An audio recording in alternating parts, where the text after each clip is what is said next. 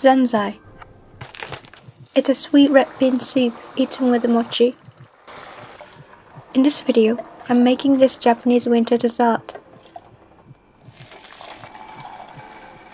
I find it is quite hard to catch my speech up with the speed of this video, so I'll just write down the recipe down below.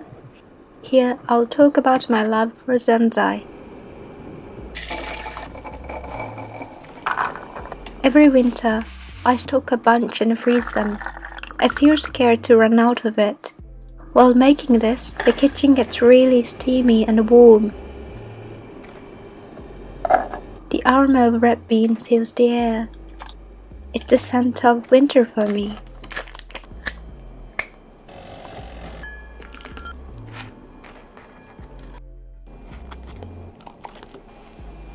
What's your favorite winter dessert?